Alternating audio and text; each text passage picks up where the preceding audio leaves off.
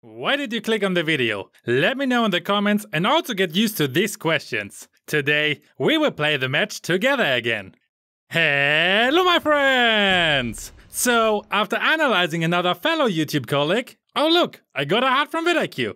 It's time to focus on my own good and mess up plays again, with the difference that I'm going to ask you at certain points what you will do next. Oh no, not another Miya again please. Wait, two MMs? Let's make it three, because we're an epic. By the way, we also found an almost extinct species. A Carmilla player and a AFK player, which is not uncommon in Epic. Oh wow, they actually switched me. I'm delighted. What I'm not so delighted about is this pick. Oh well, that is going to be fun later. Let's check the teams now. Miya wouldn't be a problem in the 1v1 for me, but since we're in Epic, Franco is going to babysit her, which makes it harder for me to finish her off. Karina is also a pretty good Wanwan counter, and Phoveus is a nightmare of course. Vale is also a strong pick, so except Miya, who's only really dangerous in the late game, the enemy's team is pretty strong. Our team is not looking that promising though. When I see a common emblem, I always expect the worst. Nana is also a 50-50 thing. There's some really good Nana players out there who are annoying AF, but also many who just randomly throw Molina around. So let's see how this turns out. Carmilla on this side lane will be also interesting, while Atlas can help me really much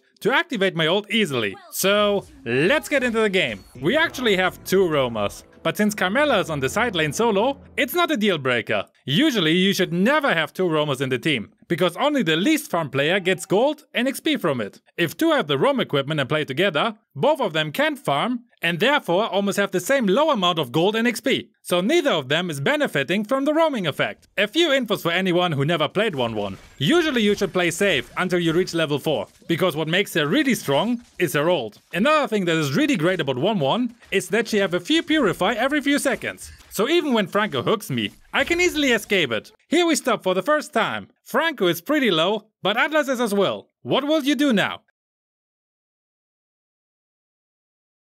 I decided to keep poking the enemy, which resulted in the first blood for us.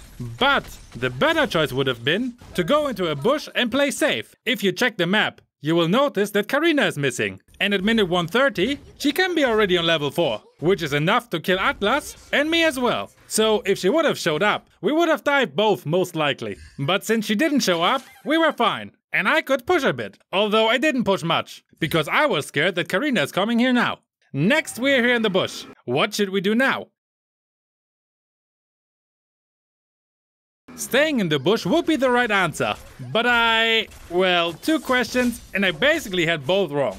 That's why I love analyzing my gameplays, because I can see what I'm doing wrong. Luckily, Karina was not yet Luckily, Karina was not on level 4 yet, so I could easily survive this mistake with my Aegis. But yeah, I could easily be on the back foot already after these two mistakes. Now we're in a 2v3 situation, and we have not much HP and mana left. Atlas is also engaging. What now?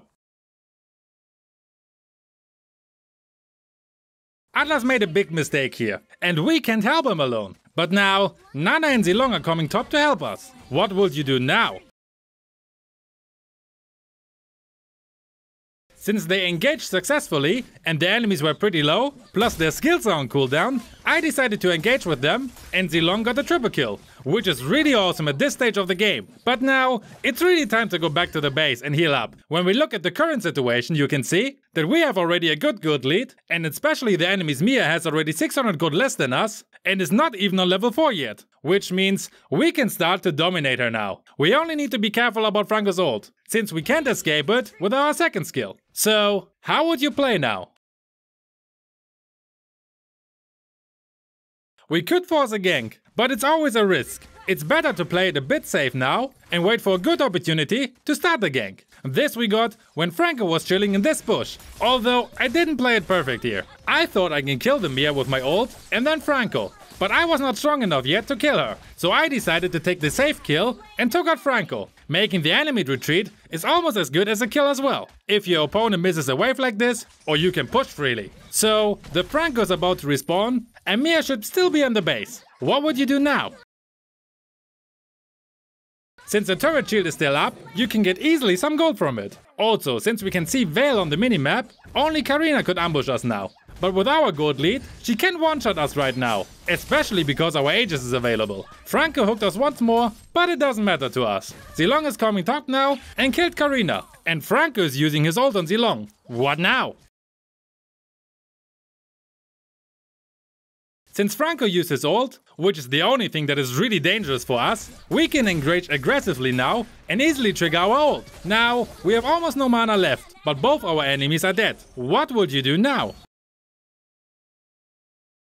When you have an opportunity like this, you have to use it. So you have to push. Just make sure to retreat as soon as the enemies are showing up again. Afterwards, we killed the enemies once more, because they were playing it really bad and we could finish the outer turret. I also helped Zilong to finish the turtle quicker. And as you can see now, Franco, Miya and Karina are all top. What will you do now? Since Franco is so nice to let us activate our ult, we get another 2 kills and an assist. Our KDA is at 507 by now. KDA means kills, death and assists, if you ever wondered. Since I asked you already what you have to do after you killed your enemies, can you guess what I'm doing next? Exactly. Pushing. But oh no! Our Atlas got hooked. What should we do now?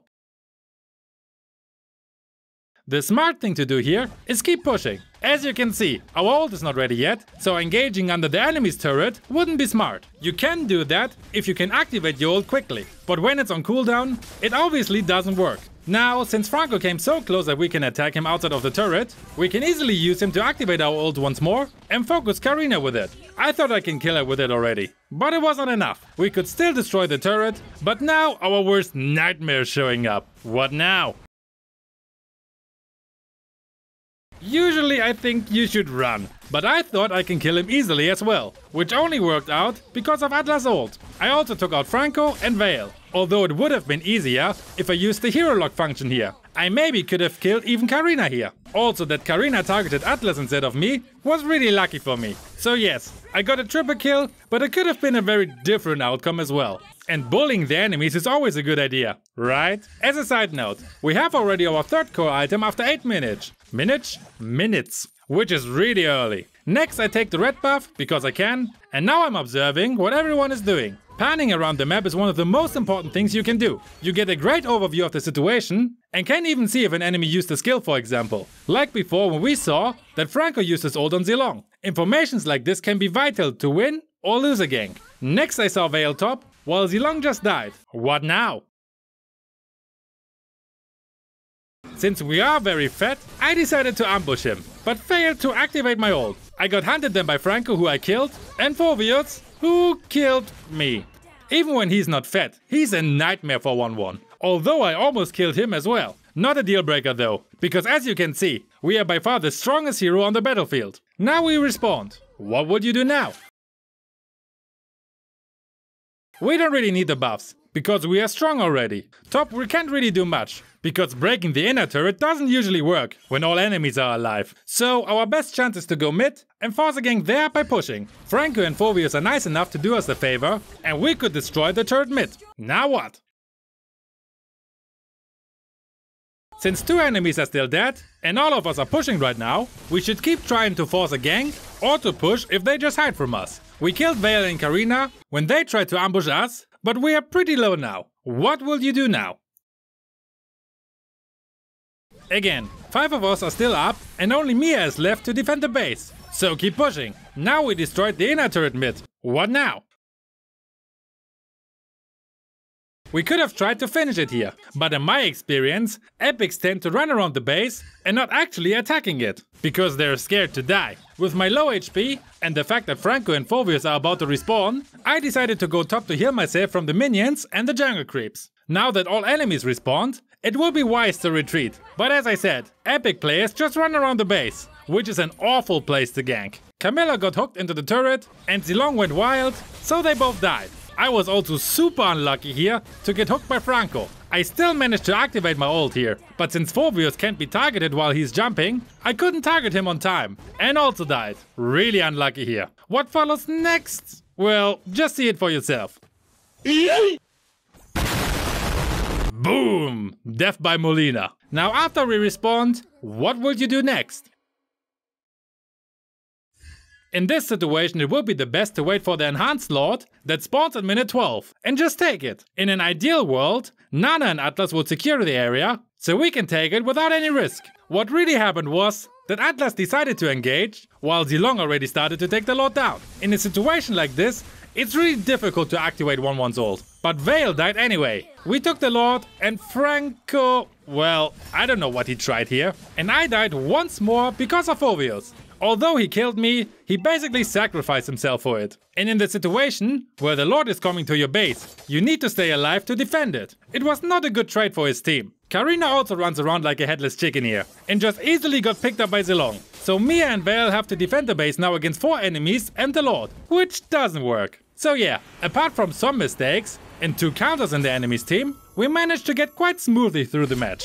Now go and check out the latest episode, where I show you another Wanwan match that wasn't as easy as this one. Also a huge shout out to my patrons Garo OP, Twister J, and the newest member, Mavis. If you want to support my work as well, feel free to join it as well. See you over there!